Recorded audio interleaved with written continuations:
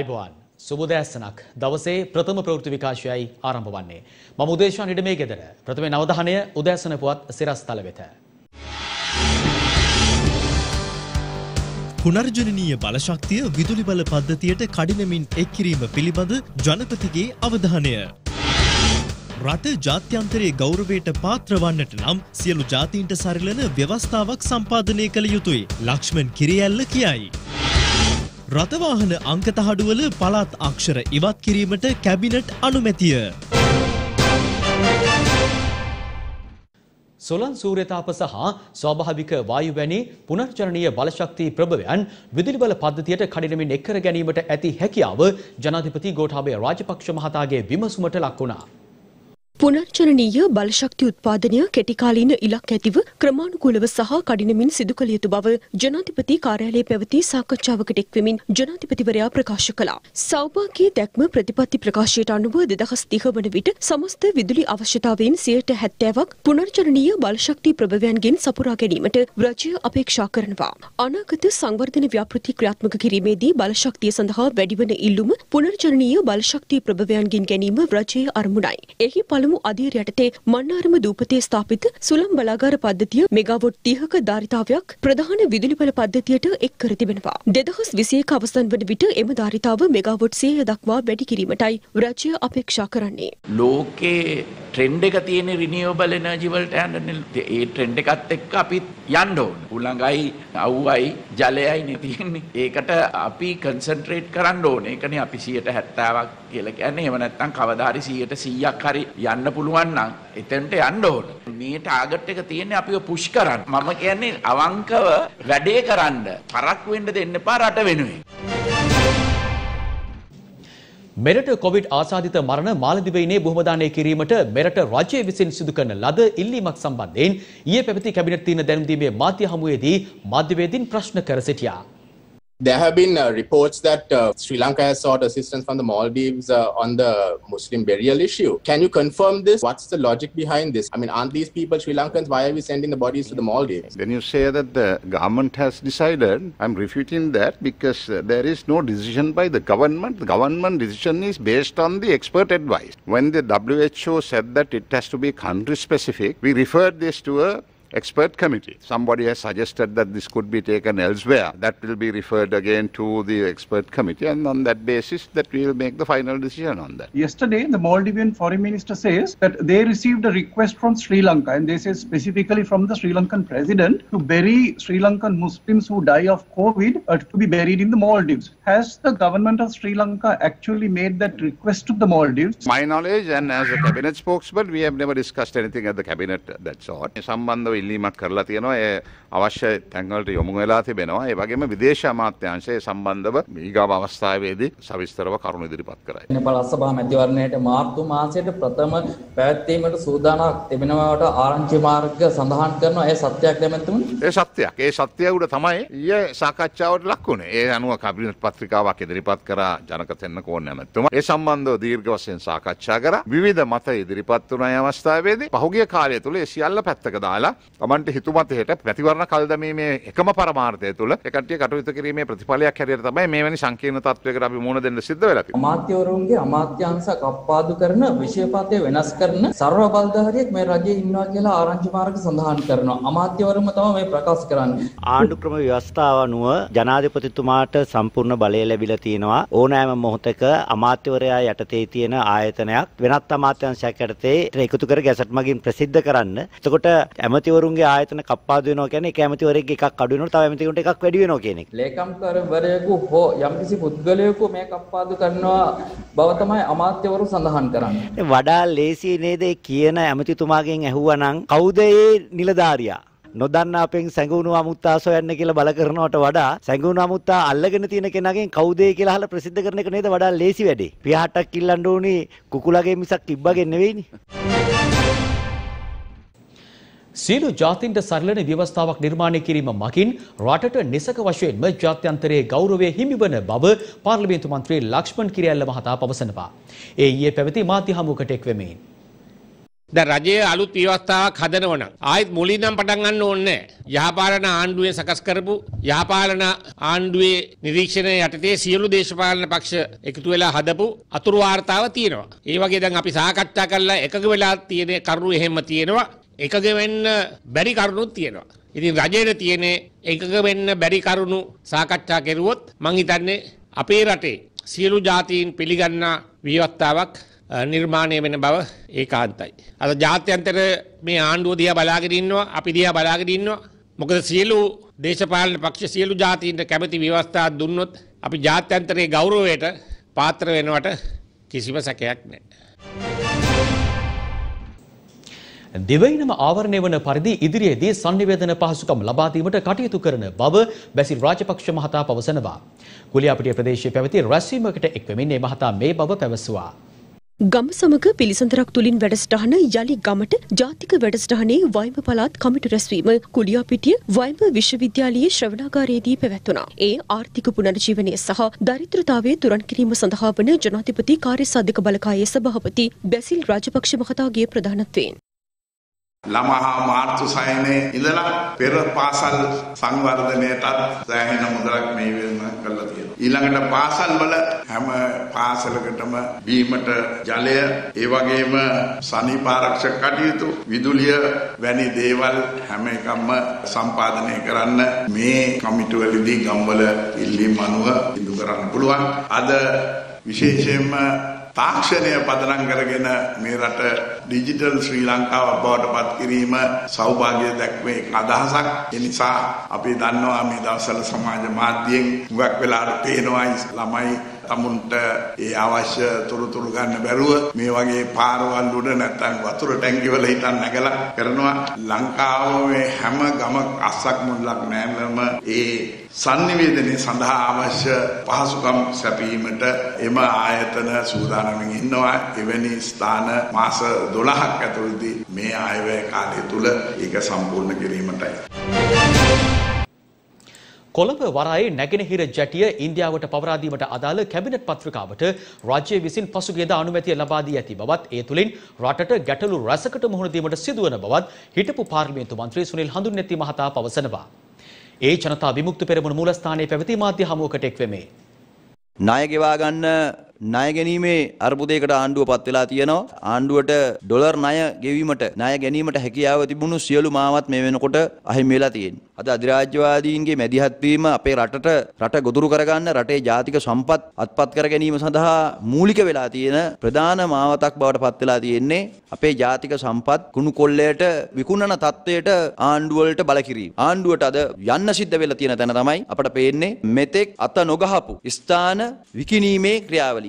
ඒ විකිණීමේ ක්‍රියාවලියේදී ඉතාම බරපතලයි අපි හිතනවා අපේ රටේ වරාය සහ ගුවන් තොටුපොළ. ඉතින් මෙන්න මේ වරාය සම්බන්ධ ප්‍රශ්නේදී අපි දන්නවා ජාත්‍යන්තර වශයෙන්ුත් අපි රටක් හැටියට අපකීර්තියටපත් වුණා හම්බන්තොට වරාය චීනය සමග කරපු ගනුදෙනුවේදී. එවැනි අපකීර්තිමත් ඉතිහාසයක් තිබියදී නැවත වතාවක් කොළඹ වරායේ නැගෙනහිර යැටිය ඒ ආකාරයෙන්ම ගනුදෙනුවකට ලක් කිරීමේ සූදානමක් තියෙන බව තමයි දැන් අපිට පේන්නේ ඊයේ දවසේදී කොළඹ නැගෙනහිර යැටිය විකිණීම සඳහා අවශ්‍ය කරන කැබිනට් අනුමැතිය ලබා දීලා තියෙනවා. ආණ්ඩුව ජාතික සම්පත් විකිණීමේ ක්‍රියාවලිය රත ගහලා තියෙනවා. මේ ගෝඨාභය රාජපක්ෂ පාලනය ඒ විකිණීමේ ක්‍රියාවලිය ආරම්භ කරන පළවෙනිම ගනුදෙනුව බවට පත් වෙලා තියෙන කැබිනට් මණ්ඩලය මේ මේ ගනුදෙනුව වෙනවා.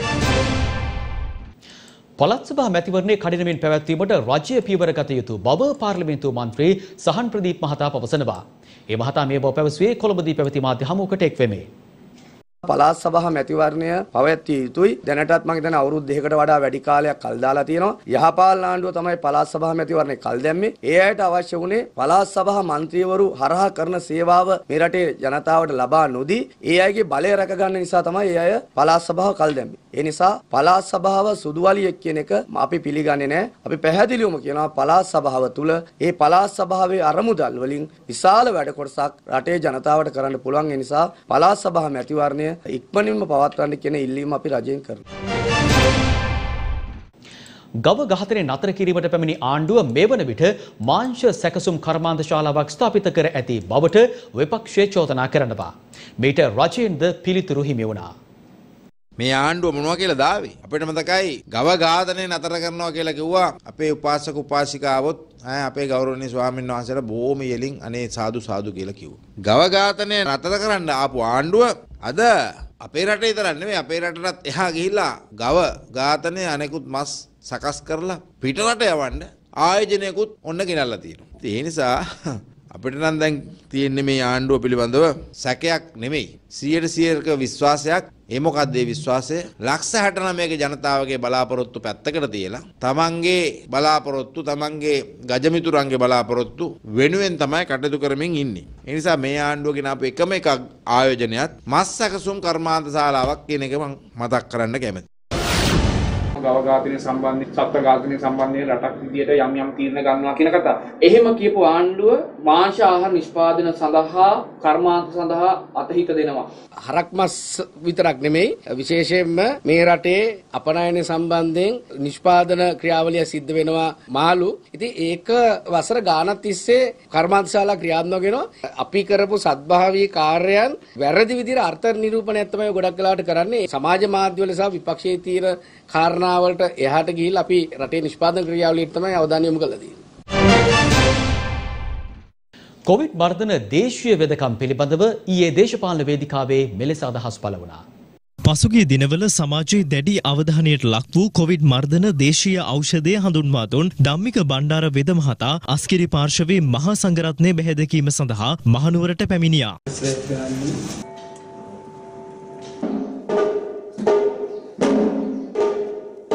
ඉන් අනතුරුව ධම්මික බණ්ඩාර වෙද මහතා මාධ්‍ය වෙත මෙලෙස අදහස් පළ කළා. මේ බෙහෙත විද්‍යාත්මකව අපි සොයා බැලුවා මේ අසනීපේ සුව වෙනවද කියලා. ඒ අසනීපේ සුව වෙන නිසා තමයි අපි ගෙනල්ලා පූජා කරේ. ඒ නිසා මම කියනවා මේ ඖෂධය ඉක්මනින් දීලා මේ වෛරසය මේ රටින් තුරන් කරගන්න මේ දිනෙන් දින මැරෙන සංඛ්‍යාව අඩු කරගන්න පිහිට වෙන්න කියලා ඉක්මනින් මේ අතර කොවිඩ් මර්ධනය සඳහා භාවිත කළ හැකි දේශීය වෙදකම සහ කොවිඩ් පැනිය පිළිබඳ දේශපාලන වේදිකාවේ මෙලෙස අදහස් පළ වුණා. අපි යෝජනා කරනවා කොරෝනා පැනිය හෝ වෙනත් දේශීය ප්‍රතිකාර විදියක් සම්බන්ධයෙන් පරීක්ෂණ පවත්වන්න පහසුම ක්‍රමය. රසායනාගාර හරහා යන්න අවශ්‍ය වෙන්නේ නැහැ. ස්වේච්ඡාවෙන් ඉදිරිපත් වෙන රෝගීන් 10 දෙනෙකුට අදාළ ආරක්ෂක ක්‍රම යටතේ මේ කියන පැනිය ක්‍රියාත්මක කරන්න.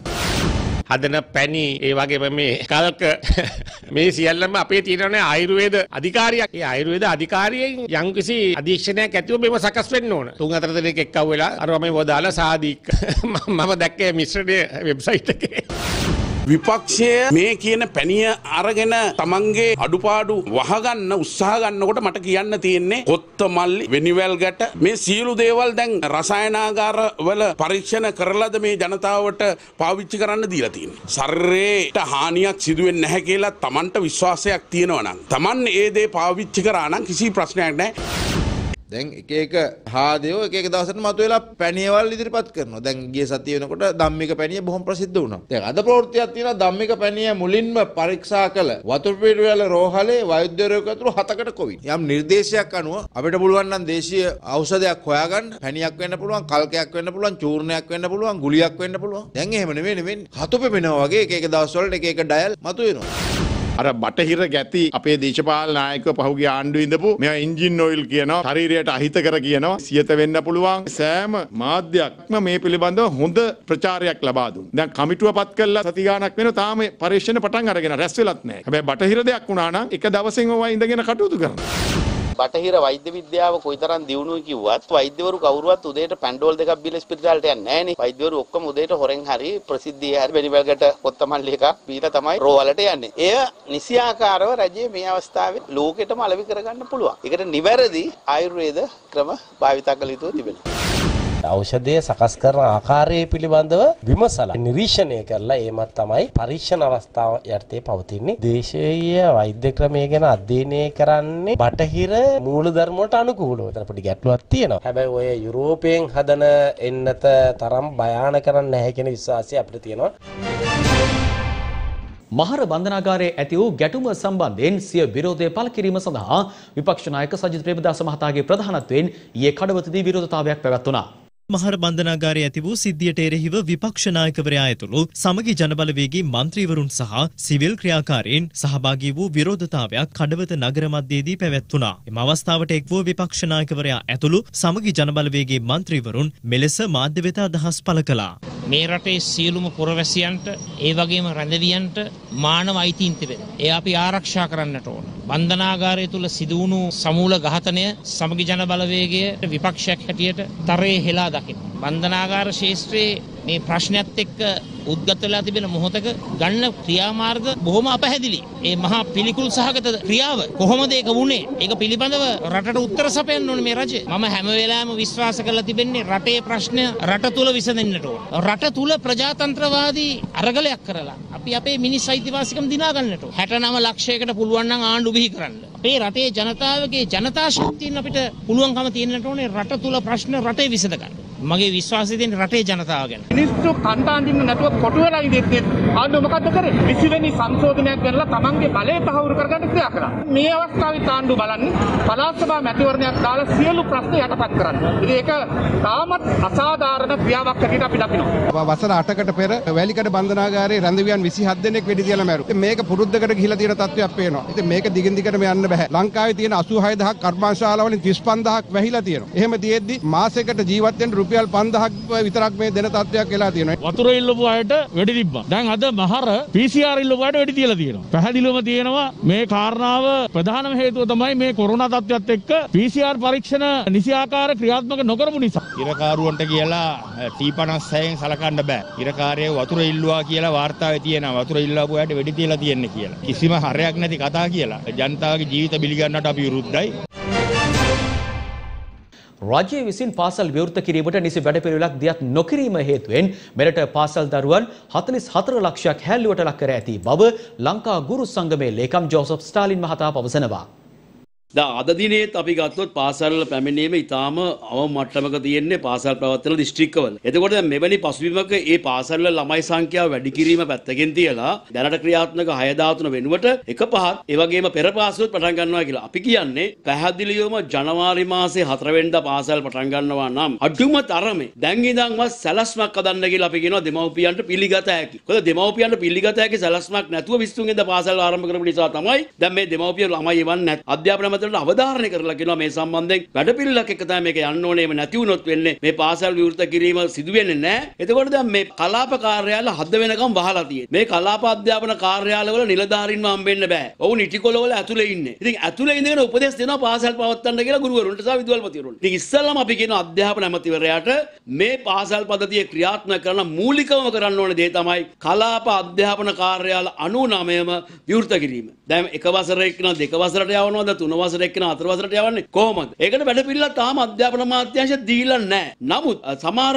අධ්‍යාපන කලාපවල ගුරුවරුන්ට බල කරනවා වාර විභාග පවත්වන්න. දැන් විෂයමාලාව අවරණය වෙලත් නැහැ. දැන් වාර විභාග පවත්වන්නේ ඇයි? එතකොට පොදු වැඩ පිළිලක් අවශ්‍යයි. පාසලේ දරුවා ඊළඟ පන්තියට සමත් කරනවාද? එහෙම නැත්නම් මේ විදිහට උසස් කරලා යවනවාද? මාධ්‍ය සාකච්ඡා පවත්වමින් ඉතින් දැන් මේ පාසල් ගැන තීරු තීරණ ප්‍රකාශ කිරීම සම්පූර්ණයෙන්ම මේ රටේ 44 ලක්ෂයක් වෙන ළමයින්ව ඇලුට ලක් කිරීමකට අපි දකිනවා.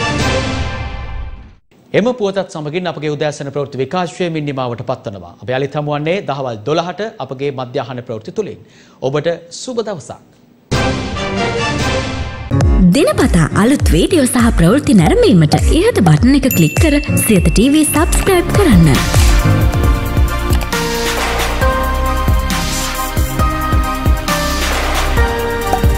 අලුත් වීඩියෝ ගැන මුලින්ම දැනගන්න මෙම සීනුව ක්ලික් කරන්න.